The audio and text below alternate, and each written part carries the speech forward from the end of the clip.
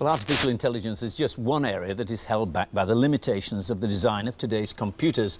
With me is Ian Page from Oxford University, who's doing research into the fifth generation machines. Ian, what other applications need a significant increase in computer speed? Well, there are a number of fifth generation applications, such as speech and vision understanding, where, for instance, we want to take a computer picture and understand what's in it rather than just recognize it. And there are some more traditional applications like weather forecasting and flight simulation, which need massive amounts of computation. Why does weather forecasting particularly need so much Well, the weather models that are on computers today are getting more and more complex all the time. And for instance, it would make no sense to take 24, 25 hours to work out tomorrow's weather. Right, clearly now. What are the limitations of today's machines? Is there a, a wall somewhere we can't get through?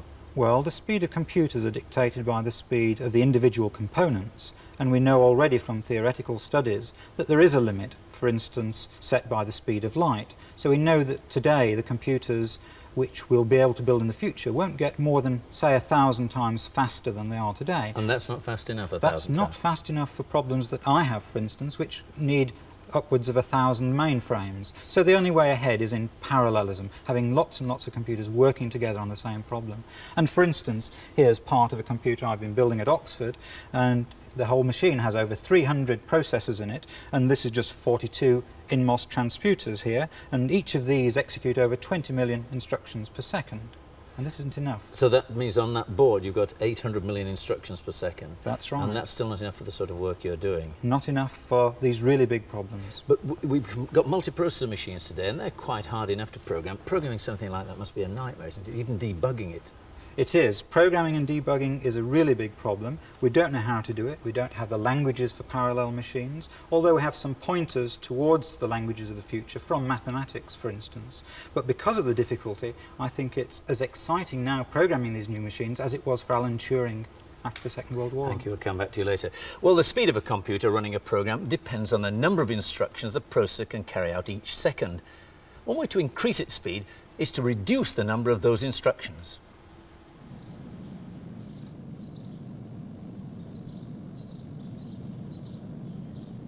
Here at Stanford University in California, John Hennessy has produced a chip with a reduced set of instructions, a RISC chip. The basic idea behind RISC is to try and increase a computer performance by trying to concentrate on the most frequently executed instructions and to increase the performance of the entire application by making those instructions run faster each instruction must justify its existence by actually showing how it contributes to, to improved performance.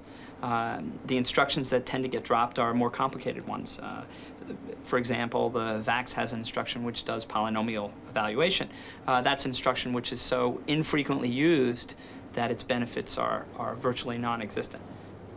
This is, actually brings up one of the sort of fallacies about RISC. People say, uh, well, you take this machine and you uh, take out something, so therefore I've, I've really lost something. And the, the analogy I like to use is one of a, of a racer, who, an athlete who's running a race. Clearly, if he reduces and loses some weight, you haven't lost something, you've actually gained something. And what we try and do in designing RISC machines is to use the excess silicon area that we've recovered. We've actually gotten back. It's no longer wasted. We've recovered it. We use it for something that will really improve performance.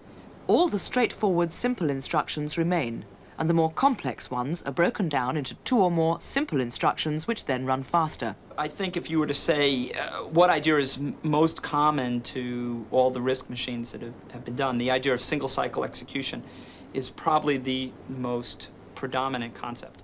Every chip has an internal clock which ticks millions of times a second. A standard chip could take several ticks or clock cycles to complete one instruction but a RISC chip executes its simpler instructions much faster, averaging little more than a single cycle per instruction. One of the key concepts in hardware design is the notion of pipelining, which is very much like the concept of an assembly line uh, in a factory. Several jobs are being done at once in rhythm. And just as a new car is begun at regular intervals, so the chip aims to start a new instruction at each tick of its internal clock. One of the ways that we try and do that is by scheduling the pipeline in software and actually trying to keep the pipeline working at a very rhythmic rate so that we get tick, tick, tick, tick, one instruction on every clock tick. In, in other machines that don't use some of these techniques, you tend to see a less rhythmic behavior. You might get tick, tick, tick, and all of a sudden you hit a complicated instruction that takes many clock cycles. And then instead of continuing execution, you stop while that instruction is executed. You have a hiccup in the pipeline.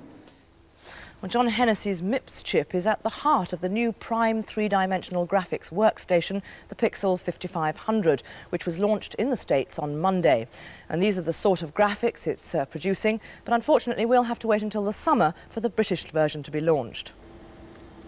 Well, it's not only the Americans that are in the RISC business. Acorn have been evaluating their own 32-bit RISC processor called ARM, Acorn RISC Machine. The evaluation system has been around for some time, priced at about £4,500. But this is the first public showing of Acorn's development RISC machine. It's about 35 times faster than an IBM PC, and indeed it's 20 times faster than this BBC Master here, as you can see from this demonstration. In fact, at the moment they're both calculating a 3D graph based on sines and cosines. The Master is the small graph inset at the bottom right of your screen. Now, these machines also run the familiar BBC Basics. So, where are we? Let's see how they cope with the PCW benchmarks. Now, these are a set of very short, simple programs to test how fast a machine will perform various mathematical tasks. Now, the RISC machine, ah, we have a bit of a hiccup, but it has finished already all eight tasks. Uh, it should have timed itself out there. Earlier this afternoon, it told me that it completed those with an average time of just over half a second, but there seems to be a glitch at the moment. Studio conditions proves we're live anyway. The BASIC runs so fast on the RISC chip that software which could have been written in machine code, would have had to been written in machine code, can now be written in BASIC. So it's power without the agony. Let's load up another demonstration, see if that works. The RISC chip itself is just one of a set of four which together make up the complete computer. This graphics chip here is also pretty impressive. Well, have a look at this. This is a resolution of 640 by 512 and there are also 256 colours per pixel or per point on the screen. The real beauty of this graphics chip is you can choose how much memory you want to use on the screen and also how you're going to divide it between resolution and number of colours. Well, that could be ideal for desktop publishing. In fact, you could go up to a resolution of 1000 by 1000.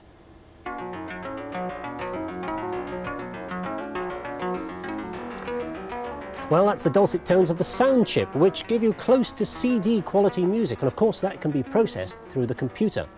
But this isn't just a micro for running BBC Basic very fast. The philosophy of RISC means that with different software, the same machine could be turned into an MS-DOS or a Unix machine. It's very interesting to contrast this machine with Acorn's major competitor in the education market, the RML Nimbus, which has established itself as the best-selling 16-bit educational machine. Now, this one, this new design, the Nimbus VX, is based around a standard Intel 80386 microprocessor. That's a full 32-bit chip, but in no way is it a RISC design. Basic benchmarks on this machine are some three times slower than those on the Acorn ARM. But the Nimbus is compatible with IBM MS-DOS or Unix software, and what's more, it's available now, well, in April anyway, priced at about £5,000. Of course, Acorn have the advantage that RISC process, processors, very cheap to produce, about a fifth of the cost of a traditional processor. But first they'll have to turn this prototype into a product. They'll have to deliver software to make RISC run off-the-shelf business and scientific packages. And of course they'll have to get the price right. If they could produce this RISC computer for, well, the cost of a master system, say £900, 20 times the speed for no extra cost, well, they'd have a very competitive machine.